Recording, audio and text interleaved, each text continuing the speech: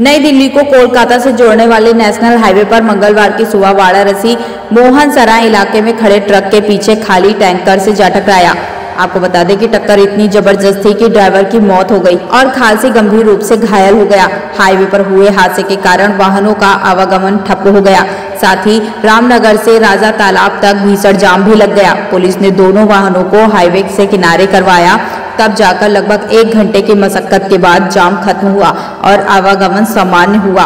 आपको बता दें कि गैस का खाली टैंकर लेकर कन्नौज निवासी ड्राइवर सोनू सिंह और खालसी गजन सिंह, आपको बता दें कि गैस का खाली टैंकर लेकर कन्नौज निवासी ड्राइवर सोनू सिंह और खालसी गजन सिंह गाजियाबाद से बोकारो जा रहे थे। मोहन सराय में नेशनल हाईवे के ओवर ब्रिज पर किनारे एक ट्रक खड़ा था। उसी ट्रक के पीछे टैंकर तेज़ी से टकराया और ड्राइवर और खालसी उसके कैबिन में जा फंसे।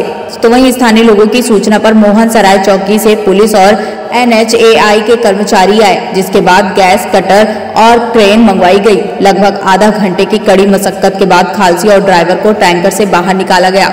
दोनों को उपचार के लिए ट्रॉमा सेंटर भिजवाया गया। उपचार के दौरान ड्राइवर की मौत हो गई। माना जा रहा है कि ड्राइवर को झपकी आने की वजह से वाहन से अनियंत्रण खो दिया और हादसे का शिकार हुआ।